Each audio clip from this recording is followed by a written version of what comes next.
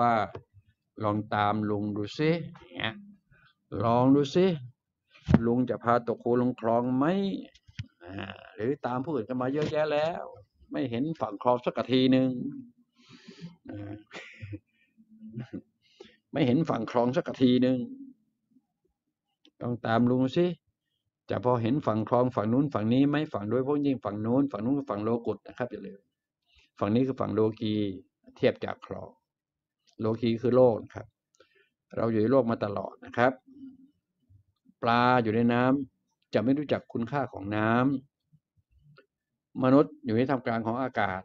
จะไม่คุณจะไม่รู้เข้าจะไม่รู้จักคุณค่าของอากาศ ต่อไปนี้รู้จักลุงงอกนะก็รู้จักคุณค่าของอากาศเสียยุคสมัยก่อนสองพันกว่าปีมาแล้ว พระพุทธเจ้านำพาให้รู้จักคำว่าอากาศ นั่นคืออานาปานสตินะครับนั่นคือการ ควบคุมลมหายใจเข้าและออกนะนั่นพระพุทธเจ้าบอกให้รู้ความจริงของอากาศมาตั้งสองพันกว่าปีแล้ว เรียกชื่อสั้นว่า อานาปานสติ ก็คือการควบคุมลมหายใจเข้าและออก เข้าให้เท่ากับออกเมื่อใด ผิดกันหนึ่งโมเลกุลหนึ่งอะตอมก็ไม่ได้ จุดนั้นนะครับ บรรลุธรรมทันทีนะครับนั่นนะนั่นภาษาลุงอยู่แล้วล่ะ เวลานำพาสมาธิมันทำไม่ได้หรอก ทำไม่ได้มันก็มีสิทธิ์คิดเออเป็นไรเป็นไรคิดเล่นๆไปซิเป็นไรไปเออนะ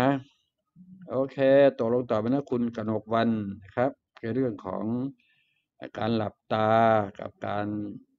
ลืมตานะครับโอเคนะ หวังว่าลืมตาก็เห็นนะ แต่ต้องเห็นนี่คือความสว่างก่อนที่จะเห็นภาพ โอเคนะครับ เข้าใจตรงกันแล้วก็ไปต่อ เข้าใจตรงกันแล้วก็ไปต่อไปนั้นก็ไปเออไปแล้วเข้าใจกันแล้วเดี๋ยว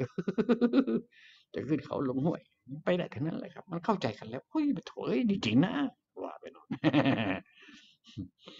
อยากถามลุงว่าเหตุใดที่เราเห็นตัวเรา รู้ตัวเรา จนหมดตัวเรา จึงทำให้เรารู้และเข้าใจผู้อื่น และสรรพสิ่งทั้งหลาย ทั้งปวง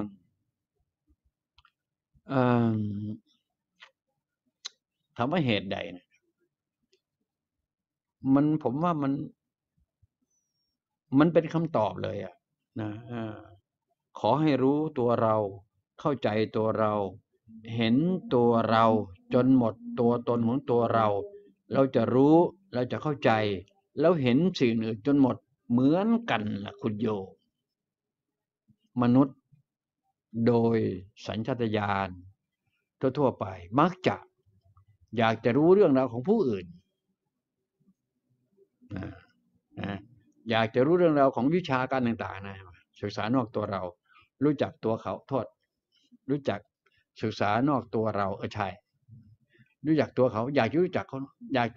อยากจะรู้จักเรื่องราวของคนข้างรั้วเราจังเลย อยากรู้จักเรื่องแล้ว ไปรู้จักเขาไปทำไมมากมายเก้าสิบเก้ากว่าเปอร์เซ็นต์ มนุษย์เกิดมาส่วนหนึ่งแล้วก็มากถึงเก้าสิบเก้ากว่าเปอร์เซ็นต์ อยากจะรู้แต่เรื่องของเขาถามว่าใช่ไหมกลับกันซะโยมนะวันนี้นะรู้เขามันไม่จบหรอก ไม่มีทางจบคำว่าเขาเนี่ยมันเจ็ดแปดพันล้านคนนะโยม มันไม่จบ มาหาตัวเราเพียงหนึ่งเดียวเนี่ย มันจะจบทั้งเจ็ดแปดพันล้านคนไหนรู้อ่านี่ภาษาลุงอีกแล้วโอเคไหมครับกลับมานะครับ กลับมารู้จักตัวเราโดยหลักเกณฑ์ของธรรมชาติธรรมชาติธรรมชาติระดับไม่ต้องลงทุนเลยนะครับไม่เสียอัดเสียเดิทั้งสิ้นเลยของฟรีทั้งนั้นอากาศมันก็ของฟรีเถอะเอ้ยน้ำก็บ้านท่านนะ ของฟรีน้ำก็ของฟรี ใช่ไหมฮะก็ ฝนตกมาก็รองเอาไว้สิครับ เออ กินฟรีตลอดปี จริงๆนะอ๋ออใช่ป่ะไปซื้อทำไมล่ะ คิดซื้อทำไมล่ะน้ำน่ะรองกินเอาเอง โอ้ยนั่นๆโอเคนะ น้ำฝนเนี่ยครับ ทุกวันนี้สมควรนะผมว่า ผมกลับเห็นว่าน้ำฝนเป็นน้ำที่สะอาดที่สุด ไอ้น้ำกรองน้ำกลั่นต่างๆนะยิ่ง ราคาแพงๆเนี่ยโถ